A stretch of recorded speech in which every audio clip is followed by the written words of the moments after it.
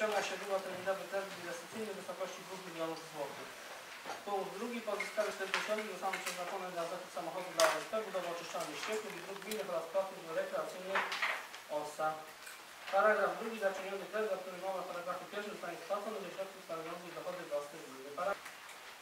Uzasadnienie. Celem podjęcia uchwały Rady Miejskiej jest wyrażenie zgody na zaciągnięcie długoterminowego kredytu inwestycyjnego w kwocie 2 milionów złotych przeznaczeniem na zakup samochodu dla OSP do Pieszczyzna, budowę oczyszczalni ścieków, znaczy to kwota 700 tysięcy złotych, budowę oczyszczalni Niskowiec, Wągoszy 200 tysięcy złotych, na budowę dróg gminnych w Łukowie, Raszewa, Pieszczyźnie 700 tysięcy złotych, na budowę placu zabaw rekreacyjnych OSA w miejscowości Śmieł, Szandor, Pieszczyzna, Sierszów 300 tysięcy złotych, na rozbudowę remizy stacji OSP w Pomorzu 100 tysięcy złotych.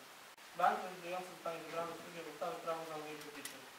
Kredyt inwestycyjny na środki własne gminy pozwolą w roku 2018 realizować wymienione zadania. W związku z powyższym podjęcie niniejszej uchwały. Przechodzimy do głosowania. Kto z Państwa radnych jest za przyjęciem niniejszego projektu uchwały? Proszę o takiego głosowania. Cztery głosy za. Kto jest przeciw? Raz, dwa, trzy, cztery, pięć, sześć. Sześć głosów przeciwnych. Kto się